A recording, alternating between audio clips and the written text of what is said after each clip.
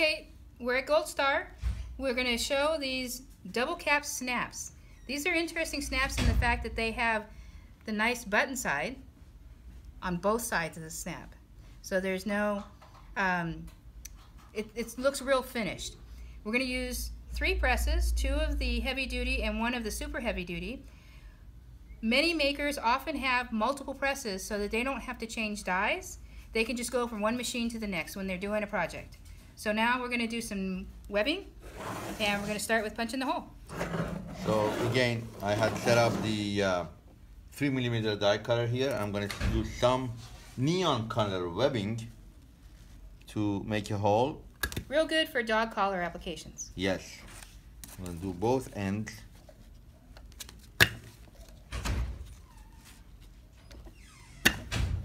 All right. So I made my holes 3 millimeter. I'm going to get rid of the, this one. And this is, there is two sides. You have two caps here for double-sided garments or dog leash and stuff. So you have a smaller cap, which is 12.5 millimeter or half an inch that drops in right in the smaller die. Mm -hmm. it, it, has to sit in there flush. And with that goes the other side of this. And that one goes right on top. And a lot of people think that they have to put this in there and then punch it. No, everything goes on and claps on. And you go ahead and you make, put that through the hole and wow that one didn't work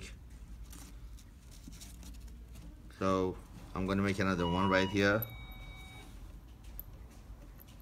get it off the top one probably there's a problem now don't get frustrated when it doesn't work for you you just have to keep practicing and when you do this every day you'll get to where you can do it with your eyes yeah make sure when you put it in there don't rush maybe that's what I did you have to make sure that this is straight that the post right here goes exactly through what we need to go through. This is what we want. Beautiful, right in the center.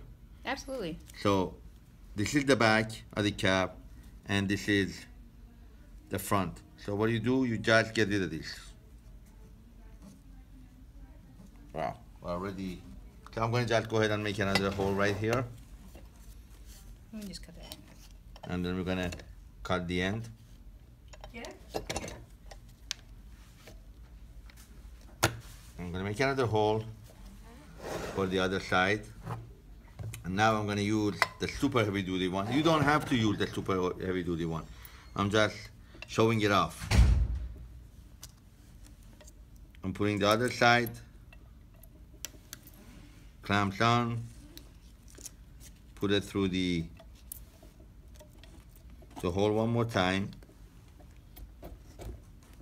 And come down.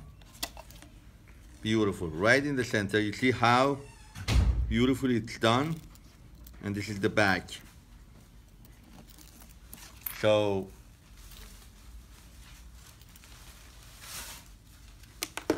this is how it has to be both. And then you could use this. Obviously I didn't. You could use this for putting it through the dog leash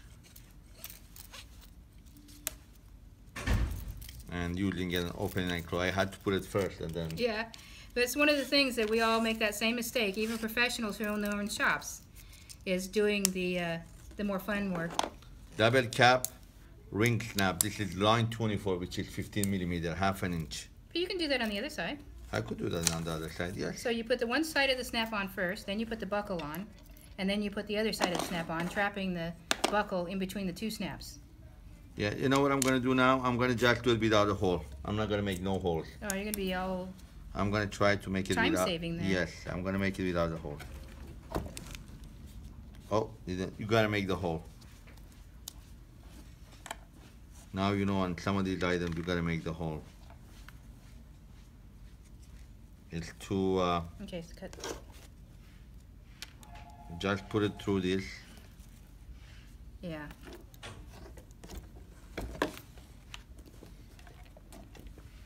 Okay, so you put one side of snap on, put the buckle on. Put the buckle on, and then we're gonna go ahead and use the other one for the cap.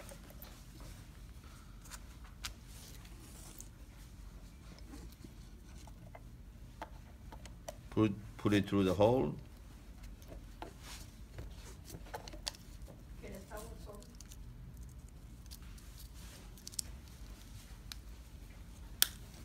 And look at that, it's finished on both sides. You can't tell that, you know, there's an, a right side or a wrong side. That's double cap, ring snap 24 millimeter, 15 uh, millimeter. Okay, that's for today.